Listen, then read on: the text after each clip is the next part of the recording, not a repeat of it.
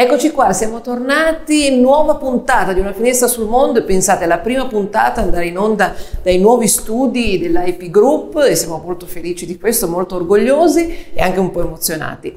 E allora torniamo, torniamo e parliamo di televisione, proprio perché spesso si sente dire no, che ormai i giovani non guardano la tv oppure che la tv è morta, ma è realmente così? Bene, allora si può dire che la televisione, così come altri mezzi di comunicazione, sia in un momento di trasformazione. Infatti è da alcuni anni che sono in commercio per esempio le smart TV, ovvero quelle televisioni che possono collegarsi a internet. Così facendo non solo si possono guardare i canali tradizionali, ma è possibile anche seguire i contenuti on demand, quindi tradizione e innovazione potremmo dire. E poi gli italiani dunque hanno la possibilità di farsi un proprio palinsesto, no? di scegliere quali film, quali serie tv guardare. E pensate che in Italia si stima che gli apparecchi televisivi, pensate, siano più di 43 milioni, quindi vuol dire che praticamente ogni famiglia ha almeno un televisore in casa. Una cifra così alta è dovuta anche a, a, questo bonus TV messo a disposizione del governo nell'anno appena trascorso eh, per incentivare l'acquisto di nuove TV e decoder. Eh, infatti siamo in un periodo dove i canali stanno cambiando frequenza per far spazio al 5G e i televisori più vecchi non sono più in grado di supportare il nuovo formato. E poi, sempre per restare in tema di televisione, un argomento da sempre eh, molto discusso è il canone RAI. Pensate che, sapete benissimo, fino a qualche anno fa si pagava separatamente tramite un bollettino postale, ma eh, in molti se ne approfittavano e non pagavano. Poi è venuta la svolta nel 2015. Infatti il canone dal 2015 viene inserito nella bolletta della luce, suddiviso in 10 mensilità da 9 euro. Ma dal 2023 tutto questo cambierà. Il governo italiano infatti si è preso l'impegno con l'Europa di cancellare l'obbligo per i venditori di elettricità di raccogliere tasse non correlate all'energia. Ebbene, abbiamo anche parlato in questa puntata di televisione proprio perché fino a due, due settimane fa eh, si è concluso uno degli eventi più importanti in Italia, il Festival di Sanremo, giunto oramai alla 72esima edizione. Un evento da sempre molto seguito e ribattezzato da molti come il Tempio della Musica.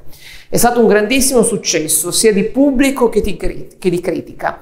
Amadeus, conduttore e direttore artistico per la terza volta consecutiva, ha scelto delle canzoni che potessero accontentare tutti, portando sul palco dell'Ariston artisti dal calibro di Gianni Morandi e cantanti invece molto amati dai giovanissimi come San Giovanni. Ebbene, a voi è piaciuta la canzone vincitrice Brividi di Mahmoud e Blanco? E beh, questa domanda e a molte altre le ha fatte il nostro inviato che è tornato al mercato e vediamo un po' cosa gli hanno risposto. A lei piace guardare la televisione e se sì, quali programmi guarda normalmente? Normalmente guardiamo la televisione, sì, anche tutte le sere. Amiamo un po' mm, programmi leggeri di varietà e anche di cultura. Io guardo un po' nei 5. Canale 5? Il canale 5. E il mattino nel primo. Okay. E basta. Ma guardo su Rai 3 Geo, informazione in generale, sì, sì. Ma normalmente ultimamente sono quelli di natura, perché la politica incomincia a rompermi le scatole. Guardo un po' di tutto. Film, eh, sì, telegiornale, logico. Ma poi quelli di attualità, quelli di eh, i film. Spesso si sente dire che la TV è morta e che ormai è stata sorpassata da internet. Lei che cosa ne pensa riguardo? La televisione è valida e i programmi a volte sono validi. La RAI a volte trasmette cose un po' scarse che potrebbe fare di meglio visto che paghiamo il canone, eh, potrebbero fare qualcosa di più. Comunque, insomma. Non lo so cosa c'è, io non è che sono tanto esperta di queste cose. Io l'importante è che vedo quelle cose lì e per me va bene. In effetti non è che ci sia un granché da vedere, però insomma continuiamo ancora a guardare quello che fanno perché poi insomma su internet non tutti comunque vanno. Non è vero, la tv e i giornali penso saranno all'indefinito, internet prima o dopo. Siamo per il progresso ma non corriamo troppo perché troppa gente sta indietro, basta che lei vada a quell'ufficio postale che c'è lì sopra e se ne accorge. Per noi pensionati è un passatempo, dico tanto. No, no, no. L'Italia è uno dei pochi paesi al mondo che ha inserito il canone della, della, televisione all'interno della bolletta della luce. Lei che cosa ne pensa? Ma secondo me sì, così lo pagano tutti, che prima non tutti lo pagavano. E sono convinta che è una cosa valida. Sì, perché così pagano tutti, che altrimenti c'erano i furbetti che non pagavano. Ne penso che non è giusto, perché si pagano già con tutte le pubblicità, per cui non è il caso. Ma sono d'accordo perché la maggior, non la maggior parte, diverse regioni d'Italia hanno scoperto che non pagavano più canone. Pertanto se ridistribuisce in tutta la cittadinanza mi sembra che sia una cosa corretta. Io veramente non sarei d'accordo, però eh, purtroppo le cose stanno così. Sì, perché così almeno la pagano tutti.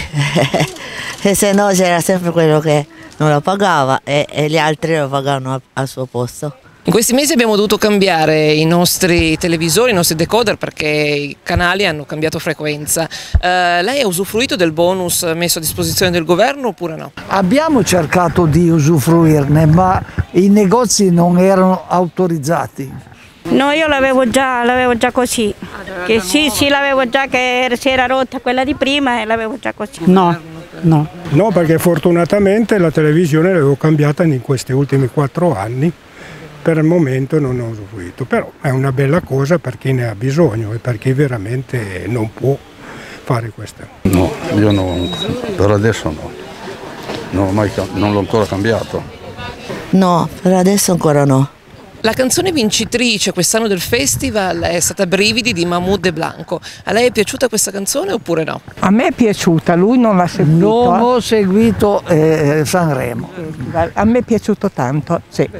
Per me va tutti bene per me vanno tutti bene, l'importante è... Sono, non lo so. Sono tutti giovani. So bene, però vanno Vabbè, tutti bene. Sono giovani che sono hanno giovani. anche loro, cercano di, di mandare avanti la carriera anche loro. Va bene, facciamo vivere a che... tutti. Guardi, una cosa squallida anche quella. Non mi è dispiaciuta questa canzone, però per me il festival è un'altra cosa. L'immagine nel mondo della canzone italiana dovrebbe essere qualcosa di più sobrio, non tanto eh, da circo equestre. Ok? Non l'ho, guard- non l'ho neanche guardata io, no, assolutamente. Mm, sì, era bella, però avrei preferito qualcun altro.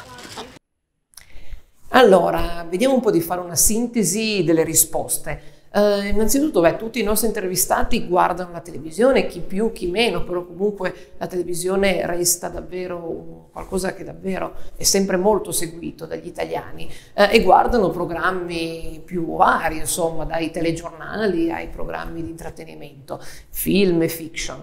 Poi eh, per quanto riguarda ad esempio il canone del, della RAI inserito nella bolletta della luce, alcuni sono d'accordo perché così almeno tutti lo possono pagare, altri invece insomma, vorrebbero che questo canone venisse eh, cancellato. E poi per quanto riguarda invece la, eh, appunto, la canzone vincitrice del festival, no? Mahmoud e Blanco, a, a molti è piaciuta, altri magari no e alcuni anche non hanno seguito eh, il festival. Per quanto riguarda invece il fatto che si dica no, che la televisione sia morta, eh, loro non credono che questo sia vero, insomma, e continuerà ad esistere nonostante appunto internet ormai eh, abbia lanciato queste piattaforme streaming dove vengono eh, tutti i giorni, si possono, si possono vedere delle serie tv e dei film.